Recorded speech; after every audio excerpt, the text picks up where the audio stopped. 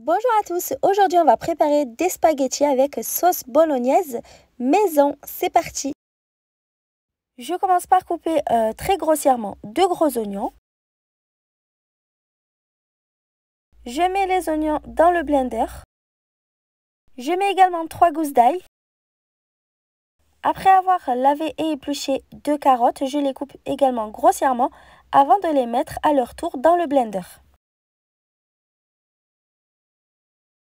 J'ajoute à ça un bon bouquet de persil et je mixe le tout, soit quelques secondes pour laisser les légumes en petits morceaux, sinon comme moi jusqu'à ce qu'il n'y ait plus de morceaux. Donc là, c'est à vous de faire euh, comme vous préférez.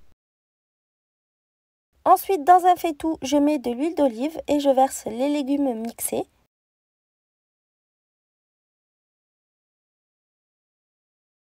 Je vais commencer à cuire le tout sur feu moyen en remuant durant 5 minutes.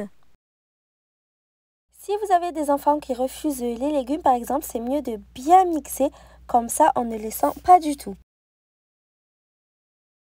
Après 5 minutes de cuisson, je viens ajouter 450 g de viande hachée.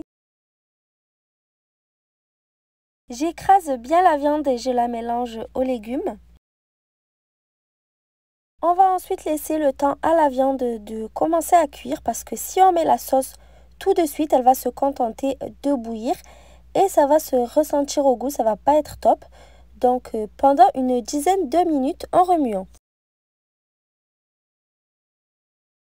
Ensuite, je viens ajouter un litre et demi de coulis de tomates. J'ai utilisé du coulis en boîte, mais si vous avez des tomates fraîches, c'est même meilleur.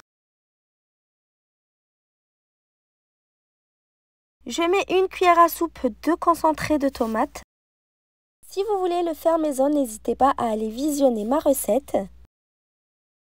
Je mets une cuillère à soupe de sucre pour retirer euh, l'acidité, mais c'est totalement facultatif.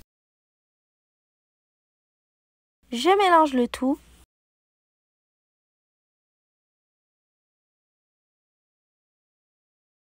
J'assaisonne la sauce bolognaise avec euh, du sel, du poivre, du thym, du basilic, de l'origan et quelques feuilles de laurier. Je mélange bien le tout. Je vais ensuite mettre le couvercle et laisser la sauce mijoter pendant une heure et demie sur feu doux. Quand la bolognaise est bientôt prête, je prépare les pâtes. Donc je mets 500 g de spaghettis dans l'eau frémissante et je laisse bouillir 10 minutes.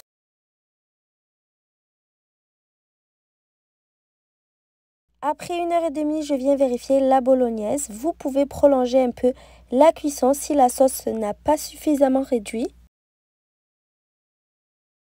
Je conserve ma sauce bolognaise dans une boîte hermétique au frais pendant 5 jours.